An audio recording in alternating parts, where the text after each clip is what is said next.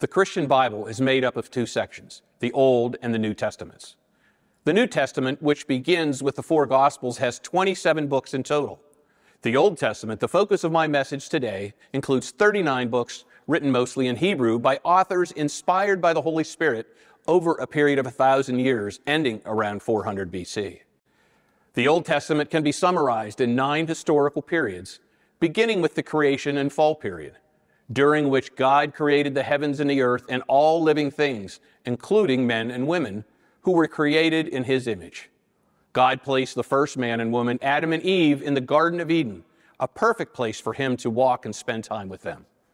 God's only command was that Adam and Eve not eat from the tree of knowledge of good and evil. Unfortunately, they disobeyed God's command, allowing sin to enter the world, and were therefore banished from the Garden of Eden forever. The Abraham and sons period is when God chose his people. The first person chosen was Abram, who later became Abraham. God made a covenant with Abraham to make his descendants into a great nation, even though Abraham and his wife Sarah were old and unable to conceive. Abraham believed God, but he eventually grew impatient and had a son, Ishmael, with his wife's servant Hagar. Later, however, Sarah did bear Abraham two sons, Isaac and Jacob, according to God's promise. These three men, Abraham and his two sons, would become known as the patriarchs and God's chosen people through Jacob would be given the name Israel. During the Moses and Exodus period, the Hebrew slaves were under Egyptian authority for 400 years. The Hebrews called out to God, and he heard their cry, sending Moses as his messenger to tell Pharaoh to let his people go. It took 10 plagues, ending with the death of each firstborn of Egyptian families, for Pharaoh to finally let the Hebrews leave Egypt. God parted the Red Sea and let his people out of Egypt in miraculous fashion, but not long after they feared for their safety and wanted to return. At Mount Sinai, God gave Moses 10 commandments that his people were to follow. Yet those same people God saved chose to worship a golden idol. For this, they spent 400 years wandering in the desert, and those originally freed from Egypt, including Moses, would never enter the promised land. Next came the Joshua and conquest period, in which Joshua led God's people into the promised land, a beautiful land flowing of milk and honey. Over the next seven years, God gave his people the power to conquer those that inhabited the land. Yet, even with that power, the people did not conquer all the Canaanites. Those left alive worshiped idols and even married some of the Hebrew people who were turning their backs on God and their covenant with him. During the Judges and Samuel period, Israel fell into a dreadful cycle. They would forget God's commands and commit idolatry, be conquered, and fall under severe oppression. Then cry out to God who would send a judge or deliverer to save them. This cycle happened seven times, but each time God would save his people because of his mercy and his grace. During the time of David and Solomon, the prophet Samuel would anoint Saul king of Israel. The Philistines and one of their soldiers, a giant named Goliath, posed a major threat to Israel under Saul's leadership.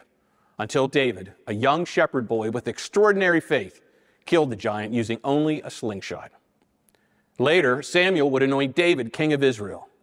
David was a man after God's own heart, but he fell short as well when he committed adultery with Bathsheba and then had her husband killed in battle. Solomon, one of David's sons, was a man of peace and great wisdom. He built the temple in Jerusalem and wrote much of the book of Proverbs. The divided kingdom period after the death of King Solomon was a time of conflict between the 12 tribes of Israel. They divided into two groups, 10 of which retained the title of Israel, while remaining two tribes became Judah. During this period, the prophet Isaiah warned God's people of an attack by the Assyrians due to their idolatry and foreign relationships. Although Isaiah was most known for his prophecy of the coming Messiah, he spoke more of the Messiah than any other prophet. The destruction of Israel and Judah is a period during which prophets spoke for God, warning the people of their rebellion against him. All the kings in the north were corrupt and wicked and forsook God's commandments.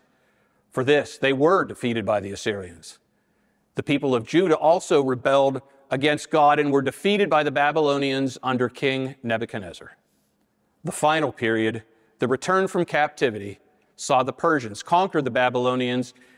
It was a Persian tradition to allow those they conquered to return to their homeland, Even though only a small amount of Jewish people actually returned, they rebuilt their temple in Jerusalem.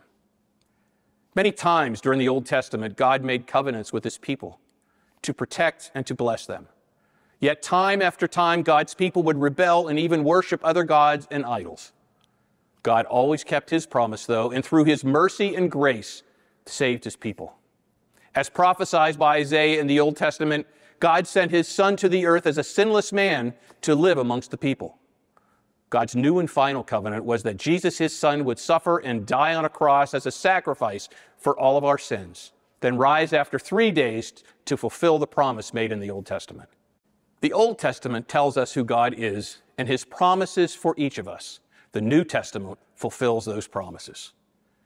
The Bible is one complete book directing us to one thing Jesus.